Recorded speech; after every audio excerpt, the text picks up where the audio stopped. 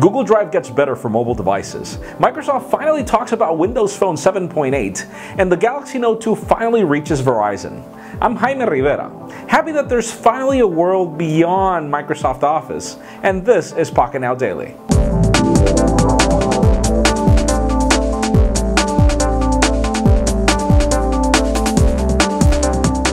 If you've ever had to experience what it's like to edit a specific cell on the previous version of Google Drive for mobile devices, you'll know how frustrating it was, and if you never did, then I hope you never do.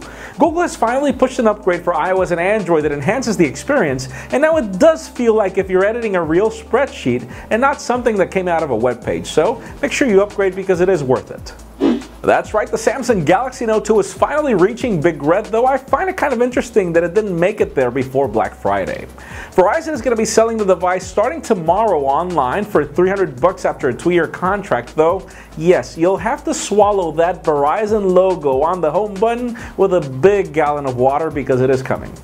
Microsoft has just released an Outlook.com application for Android that provides a more intimate experience with your mail, calendar, and just about everything in your Microsoft account on Android devices. Now, it's interesting because, first of all, you can pretty much do that out of the box with most Android devices already, and the app is getting terrible reviews so far. First of all, because it's the same as the Hotmail application that was already there, and it's a terrible looking application. I really don't know what designers were thinking of here.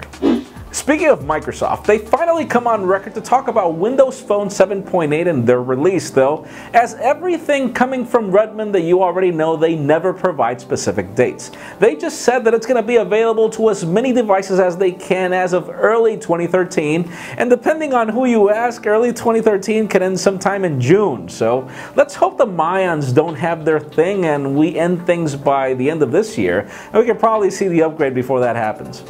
And finally, for the, um, well, interesting news of the day, Steve Ballmer has just come on record to talk about Windows Phone 8 sales. Sadly, he doesn't provide specific figures, but he says that Windows Phone 8 devices sold four times more this year than they did in the same period last year, though we never got the figures last year to compare anyways. But that leads me to the question of the day, or let's call this more of an exercise.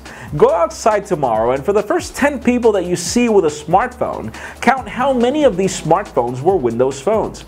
I did that exercise a week ago, and to be honest with you, none of them were Windows phones, not even the old Windows Phone 7 devices. So leave us a comment down below. We're interested to see what you get. And if you want an earlier scoop of everything that's happening in the smartphone and tablet world, make sure you follow us on PocketNow.com. Please give this video a thumbs up if you like what you saw. I'm Jaime Rivera. Thanks for watching.